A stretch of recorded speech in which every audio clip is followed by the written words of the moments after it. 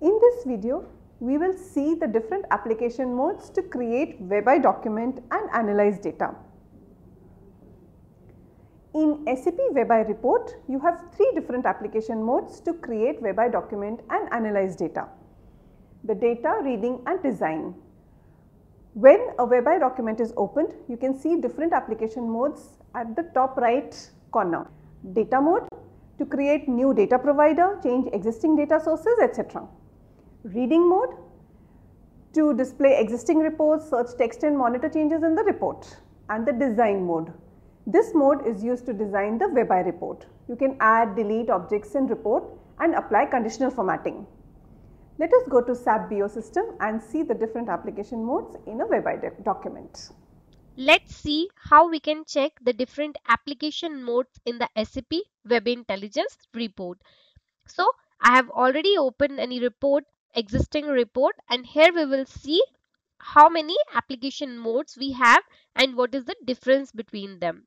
So we have three different application modes that can be used to build the queries, create the documents, to analyze the reports. So these are the three different application modes that is your reading mode, your design mode and the data mode. So in the data mode, we can create the new data providers, we can change the existing data sources or we can rename the data provider. So let's say if I click on this data. So here you can see that it is showing me which all data sources are used to create this report. After that, what is the name of the data source? What is the refresh date? Then what is the duration of it? Then what is the status and how much data we are getting from each one of them. So we can see that these many rows we are getting from the query 1 and these rows we are getting from the query 2.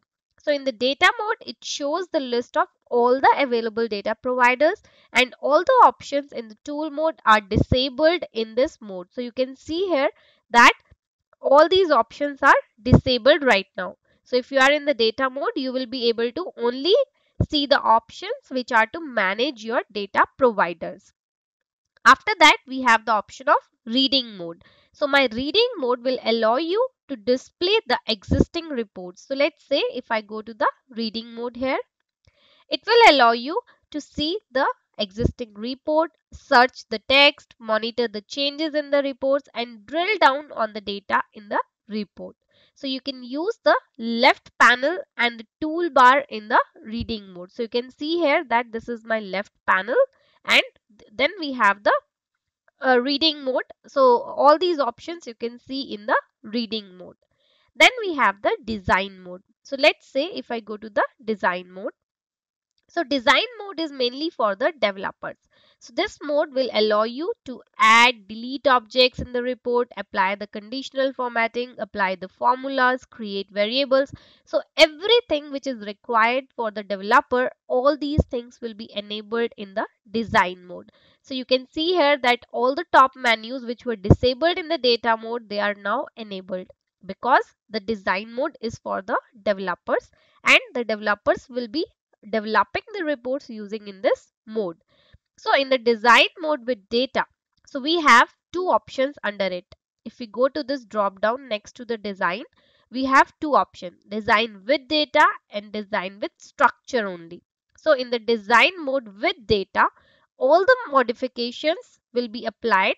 Let's say if I go to the design with data. So in the design with data, all the modifications applied in the report are on the server. In case you have to make a lot of changes in the existing report, it is always recommended to use the structure mode because it will take lot of time otherwise as let's say if you have lot of records in your report. So if you do the changes in the design with data, all the changes will be applied to the all the records of the report. Now let's say if I go to the structure mode. So my structure mode will only show me the definition of my report, like what columns it is using, what is the formatting of it. So in this mode, you will not be able to see the data. Rather, you will be able to see the definition mode. So this mode is very useful for the performance point of view. So if you have to design the report, so you can use this report, uh, you can use this structure mode and you can design your report and once you are done with all your designing you can show the data by using the design with data option. So this way it will save your lot of time. So in this tutorial we have seen what are the different application modes in your web intelligence document. Thank you.